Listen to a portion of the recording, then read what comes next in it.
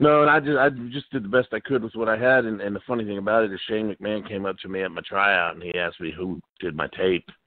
I said me and my brother in his living room. Hmm. he just kind of looked at me like I was crazy. So apparently it was good. It was you know a lot of it came together by luck. I will say that. So it was just it, it turned out really good. It is awesome that Shane sees it because that that means that they're kind of passing it around. Everybody's getting a chance to look at it. Like, oh, look at this guy. Look at this tape. That's kind of pretty cool. Yeah, yeah, it was. Funny thing is, I didn't even know who Shane McMahon was at that moment. You know, I was just being nice to everybody, but I didn't know who Shane was because when he talked about his dad, he called him Vince, and Huh. I didn't, and I didn't know who Shane was. He was just coming up uh, and starting to work really a lot in the company. And what Shane was doing at that time was he was working for a certain period of time, like in each division of the company. And when I happened to get there, he was working in the studio, and he was the one that produced all my vignettes and stuff when I came in. We drove around together in the early morning hours in Stamford, Connecticut in winter in the freezing weather to cut promos and, and, and do the vignettes when I was coming to the WWF. That is so cool, and I definitely want to talk about those vignettes in, in just one second. But when you actually kind of break through, and obviously everyone's seen the promo, JJ Dillon calls you in. When does the the name change happen? You know what I mean? Like when does Vince kind of sit down with you, and what does he say? Because apparently that's like his thing, right? He he wants to kind of brand you in, in the WWF. We here in the WWF want you to be this kind of thing.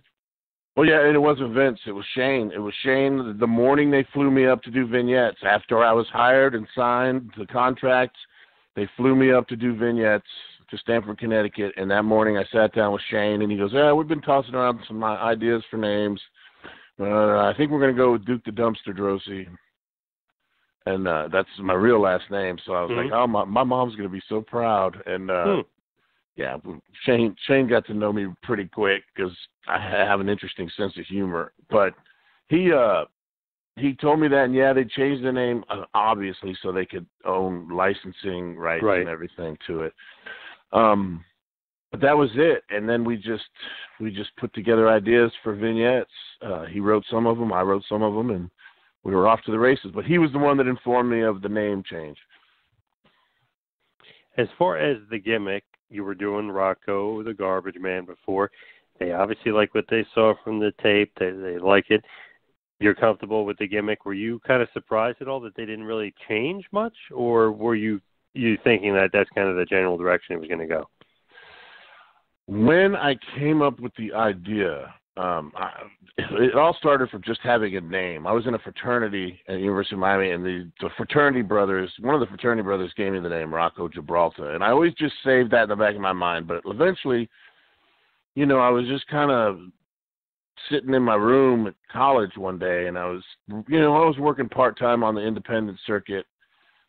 Um, and I was trying to come up with a new idea and a gimmick and a character, and I, I knew I wanted to use Rocco Gibraltar.